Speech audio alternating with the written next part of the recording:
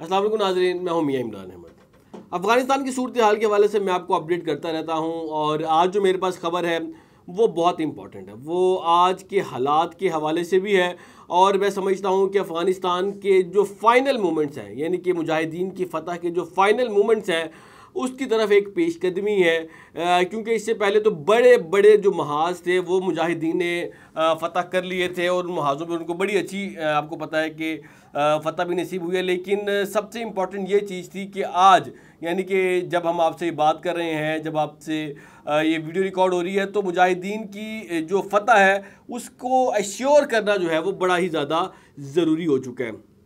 अब नाजिन सवाल ये पैदा होता है कि उनकी फ़तह को एश्योर कैसे किया जाएगा?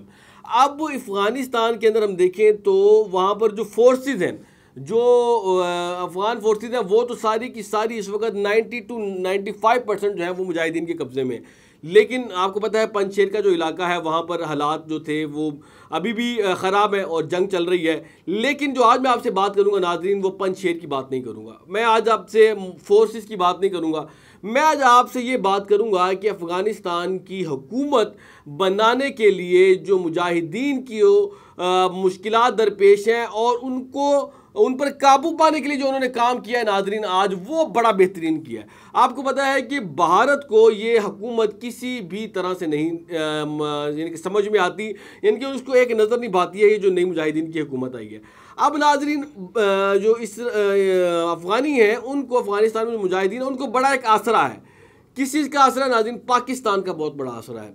उनको चीन का बहुत बड़ा आसरा है। और इसके साथ साथ नाजरीन, उसको ईरान का भी बहुत बड़ा असरा है, लेकिन मैं इसमें एक बहुत अहम इंपॉर्टेंट मुल्क था, है भी, अभी भी है। मैं इसको दोनों एतराफ़ में इस पर बात करूँगा, क्योंकि बात जो है वो दोनों तरफ़ से ही होनी चाहिए कि इसमें एक बहुत ही इंपॉर्टेंट मुल्क है, जिसका नाम रशिया है।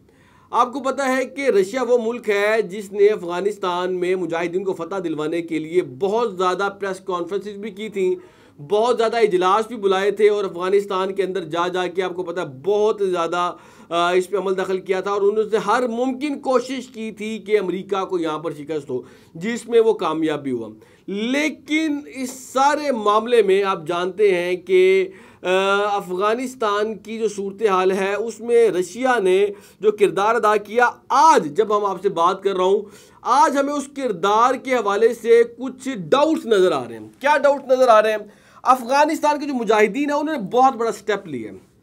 लेकिन मैं आपसे एक बात बता दूँ, जो उन्होंने स्टेप लिया है, वो तो भी आपको बताता हूँ लेकिन उनके स्टेप लेने से पहले रशिया ने क्या किया? मैं आपको ज़रा ये बता दूँ पहले।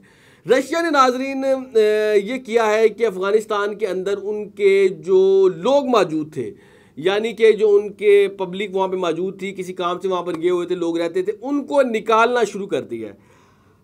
पहले रशिया ने कहा था कि हम अपना सफारत खाना भी वहाँ पे नहीं, से नहीं निकालेंगे, हम अपने सफ़ीर को भी नहीं बुलाएँगे, हम अपने लोगों को भी नहीं बुलाएँगे, वो वहाँ पर महफूज हैं, वो मज़बूत हाथों में है, लिहाजा हमें कोई फ़िक्र नहीं है। उसके बाद, जो यानी कि अब ये जब बुलाना शुरू किया उन्होंने तो तालिबान को खटकी कि भाई ये ऐसा क्यों हो रहा है? मुजाहिदीन तो चाहते हैं कि भाई यहाँ से कोई ना जाए। वो उन्होंने अफगानियों को भी रोका कि भाई तुम लोग भी ना जाओ यहाँ से। तो फॉरनर्स को भी वो ये चाहते थे कि ये हमारा दोस्त मुल्क है। ये अपने लोगों को यहाँ से क्यों बुला रहे हैं? तो इस पर उनको कुछ तहफ़ात थे। अब नाजिर, उन तहफ़ात को दूर करने के लिए बात भी हुई। लेकिन उन द मीन वाइल मोदी ने फ़ोन कर दिया सदर प्यूटन को। और उसकी जब सदर प्यूटन को फ़ोन किया तो अफ़गानिस्तान के अंदर जो मुजाहिदीन है, उनका मूड बदल गया। उनका मूड इस तरह से बदल गया कि उन्होंने कहा कि जी, लगता है कि जो रशिया है, वो इंडिया के साथ मिलकर पाकिस्तान के खिलाफ कोई प्लानिंग करने के लिए जा रहा है। इंडिया के साथ मिलकर, यानी कि अफ़गानिस्तान या मुजाहिदीन के मुतलिक प्लानिंग करने जा रहा है तो नाज उन्होंने बहुत बड़ा एक्शन लिया आज। ये खबर आपके सामने चल रही है। खबर कहती है कि Mujahideen have seized more than one hundred Russian helicopters the head of Russia state on defence exporter has claimed जो कि रशिया का डिफेंस एक्सपोर्टर है, उसने ये क्लेम किया है, उसने आज ये कहा है कि भाई हमारे सौ से ज़्यादा जो हेलीकॉप्टर थे, वो मुजाहिदीन ने अपने कब्ज़े में ले लिए हैं। अब यहाँ पर सवाल ये पैदा होता है कि उन्होंने कब्ज़े में क्यों लिए हैं? कौन से हेलीकॉप्टर लिए हैं? पहले आपको मैं ये बता दूँ। नाजरी खबर कहती है कि जो in interview, Alexander Mikheev CEO जो है कंपनी के said that over 100 Russian made M I seventeen helicopter have fall into the hands of Mujahideen अब ये जो मुजाहिदीन के हाथ में आए हैं, नाजरीन, इनकी क्वालिटी क्या है? मैं आपको ये बता दूँ, इनका नाम है एम आई सेवनटीन इनका यानी कि इस मॉडल का नाम है। और इसका कहना है कि ये रशिया के एम आई एट का एक वर्जन है। The US had procured the Mi-17 for the Afghan army because they were relatively affordable and easier to operate than the US made US-60 Black Hawks. अब ये जो सवाल पैदा होता है कि एक तो मैंने आपको बता दिया कि ये जो है, ये ज़रा किस क्वालिटी के हैं, ये ज़रा आसान है इनको चलाना इनको चलाना उतना मुश्किल नहीं है और इनकी मेंटेनेंस थोड़ी सी है, वो भी एक मुनासिब सी है, ज़्यादा महँगी नहीं है तो इसलिए इन हेलीकॉप्टर्स को ख़रीदा था अमरीकियों ने रशिया से ये देखिए, रशिया ने, रशिया से ख़रीदा अमरीकियों ने कि भाई अपने, हमने अफ़गानिस्तान के अंदर जंग लड़नी है तो उसको लिए हमें हेलीकॉप्टर दे दें। अब नाजरीन, जब अमरीकी वहाँ से भागे हैं, आपको पता है कि मुजाहिदीन भगा दिया तो अब ये हेलीकॉप्टर आ गए हैं मुजाहिदीन के कब्ज़े में। अगर मुजाहिदीन के कब्ज़े में ये हेलीकॉप्टर रहते हैं तो नाजरीन, क्या होगा? और इसमें रशिया जो है, वो क्या अगला स्टेप करने के लिए जा रहा है? रशिया ने नाजरीन किया है पाकिस्तानी प्राइम मिनिस्टर को फ़ोन इमरान खान साहब को फ़ोन किया और उनसे कहा है कि भाई हमारे इस मसले से निकाला जाए। लेकिन हमें ये महसूस हो रहा है कि इस मसले से निकलना अब शायद इतना आसान नहीं है, लेकिन पाकिस्तान ने उनको गारंटी दी है कि अच्छा ठीक है, हम इस पर बात करते हैं।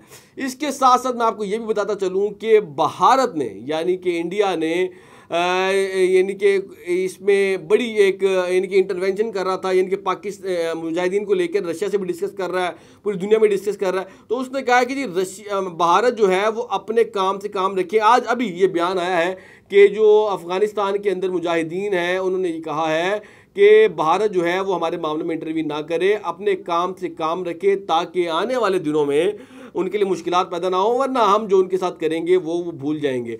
अब नाजिन हेलीकॉप्टर्स को कैप्चर करने की पूरी स्टोरी आपकी समझ में आ चुकी होगी। यानी कि ये इसको इसीलिए किया गया है कैप्चर के इसमें अमेरिका के साथ साथ हिंदुस्तान की भी कुछ चाल लगती है। और मुजाहिदीन को ये लगता है कि शायद कहीं ऐसा ना हो कि रशिया जो है वो उनके हाथों इस्तेमाल हो जाए। अब नाजिन सवाल ये पैदा होता है कि अच्छा भाई, ये रशिया तो उतना अच्छा दोस्त है मुजाहिदीन का, ये कैसे हो सकता है कि वो उनके खिलाफ हो जाए? तो नाजिन ये मुल्क, ये दुनिया है, ये सियासत है, यहाँ पर कुछ भी हो सकता है। यहाँ पर आप आज का मालूम है, कल के बारे में इलम नहीं होता कि क्या, बल्कि अगले घंटे के बारे में इलम नहीं होता कि क्या होने वाला है। तो सियासत तो इसी का ही नाम है। हर मुल्क के अपने इंटरेस्ट है, किसी को किसी से मोहब्बत नहीं है। चाइना को आप देखें, चाइना ने रशिया के अंदर क्या किया है? उन इधर अफ़गानिस्तान के अंदर क्या किया उन्होंने कहा जी, आप लड़ाई लड़ते रहे, हम अपना काम कर रहे हैं। उन्होंने वहाँ पे माइंस खोदना शुरू कर दिए। वहाँ पे उनके लोग चले गए हैं और वो डिगिंग शुरू हो गई है। वहाँ पर उन्होंने कारोबार शुरू कर दिया। उन्होंने कहा जी, आप लड़ते रहे, हमारा लड़ाई से कोई ताल्लुक नहीं है। हमें तो अपना कारोबार से कंसर्न है। तो वो उन्होंने अफ़गानिस्तान के अंदर शुरू कर भी दिया है। और रशिया इस वक्त देख रहा है। बाकी दुनिया भी देख रही है कि हमने क्या करना है क्या नहीं करना। तो नाजरीन इस सारे मामले में जेन में रखिएगा कि आ, अपने अपने इंटरेस्ट हैं हर बंदा अपने इंटरेस्ट के बारे में काम कर रहा है वहाँ पे। लेकिन इस इंटरेस्ट में पाकिस्तान का भी फ़ायदा है इस इंटरेस्ट में अफ़गानियों का भी फ़ायदा है यानी कि अफ़गान लोगों का और मुजाहिदीन का भी फ़ायदा है चीन का भी फ़ायदा है और रशिया का भी फ़ायदा है। तो मेरे ख्याल से ये बेल्ट अगर मज़बूत रहेगी तो ज़्यादा बेहतर रहेगी। कमेंट सेक्शन में अपनी राय दीजिएगा चैनल का ख्याल रखिएगा। अल्लाह हाफिज़।